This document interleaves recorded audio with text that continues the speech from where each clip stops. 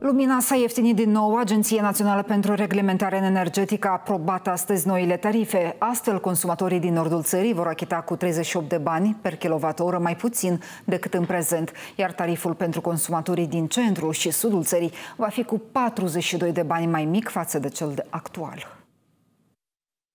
Potrivit deciziei Andreie, consumatorii premieri Energy vor achita 2 lei și 57 de bani față de 2 lei și 99 de bani per kWh, cât plătesc acum, iar abonații FE Nord 3 lei și 20 de bani față de 3 lei și 58 de bani, cât este în prezent. Prezenta hotărâre intră în vigoare la data publicării în monitorul oficial al Republicii Moldova. Deciziile au fost aprobate de reglementator în urma examinării unor solicitări de micșorare a tarifelor taxelor depuse de Premieri Energy și întreprinderea furnizarea energiei electrice Nord. Inițial, Premieri Energy solicitase reglementatorului un tarif cu 12 bani mai mare, iar operatorul din nordul țării cu 17 bani. Potrivit Andreie, micșorarea tarifelor a fost determinată de diminuarea prețurilor de procurare a energiei electrice de la furnizorul central cu circa 20%, reducând astfel costul de achiziție a energiei electrice cu circa 100 198,6 milioane de lei. Un alt factor care a adus la micșorarea tarifului este reducerea costurilor pentru prestarea serviciilor de distribuție a curentului, în cazul Premier Energy și înregistrarea excedentului tarifar în cazul FE Nord. Amintim că ANRE a anunțat pe 28 iunie că există premise de reducere a prețurilor pentru distribuirea curentului către furnizori, urmarea ultimelor evoluții pe piață și în baza analizelor efectuate. În acest context, agenția a examinat în regim urgent solicitările Premier Energy și ale Premier Energy Distribution și ceruse și FE Nord să prezinte cererea de ajustare a prețurilor. Ultima dată, curentul s-a ieftinit în luna aprilie.